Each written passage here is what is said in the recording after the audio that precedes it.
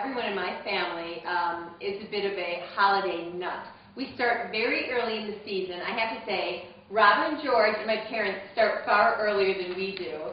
Um, we are shooting these videos um, just before Thanksgiving, and they are already set up and ready to go. So I'm ever inspired by their ability to pull it all together. So I just wanted to show you guys just, you know, one really beautiful way to be inspired by the holidays. This is a main focus of our whole house is this fireplace. It's just a magnificent, beautiful stone fireplace. We love it. We live in this area. We just enjoy it so much.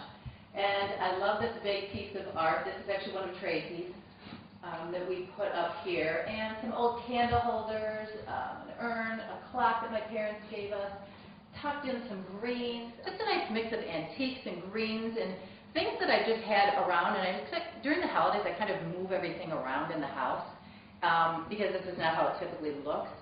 So for the holidays, we just kind of change it up. I mean, Um, you'd keep it this way year round if you could, though, right? Oh, I'd love to. No. Christmas. That's how much we love Christmas. We, we actually did this house two weeks ago for Christmas.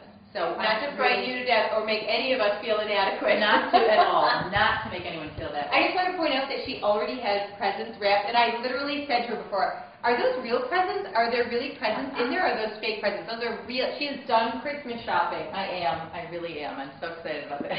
I think some of my favorite things about this vignette are, again, that Robyn brought in, um, you know, this beautiful urn up here. I think that's so pretty, and again, I love that she's put some books on top of it, and then that pretty stag. I don't even know if that's, is that actually part of your Christmas decorations? Is that a year-round stag? Year-round stay. Yeah, it's so pretty, but I think with the greenery and everything, it looks even a little more Christmassy in this little handmade house. And you know, also I want to point out that, um, you know, everyone always asks the questions, do I have, you know, should I use real greens? Do I have to use real greens? And I know people get very concerned about that sort of thing near their fireplaces.